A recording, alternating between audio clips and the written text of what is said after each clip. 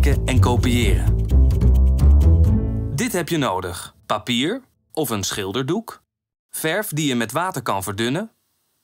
Iets om verf op te mengen. Kwasten. Iets om de verf mee te mengen, bijvoorbeeld een paletmes. Water en een lapje om je kwasten aan af te vegen. Stap 1. We gaan afkijken, of eigenlijk kopiëren. Vincent kopieerde ook wel eens werk van andere kunstenaars. Daar leerde hij van. Daarom zou hij het prima vinden dat wij gaan oefenen door hem na te apen. Dit schilderij is wereldberoemd. Zonnebloemen. Stap 2. Kijk naar het schilderij en neem een potlood. Teken het snel na.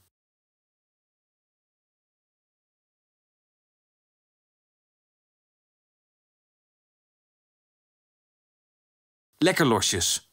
Het hoeft niet te precies.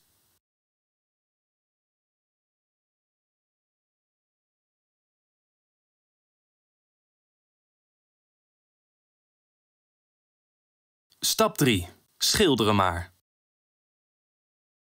Jouw schilderij hoeft natuurlijk niet helemaal precies op de echte zonnebloemen te lijken. Maar je leert veel door te proberen Vincents kleuren na te maken. Kijk vooral wat er gebeurt als je verschillende kleuren mengt. Net zolang tot je zelf vindt dat je schilderij af is. Stap 4. Kijk naar wat je hebt gemaakt. Wat ging er lekker? Wat ging er minder?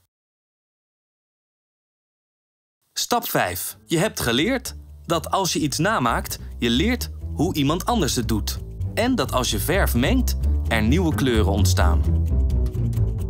Als je niet kunt stoppen, schilder dan een echte vaas met bloemen, maar met heel andere kleuren.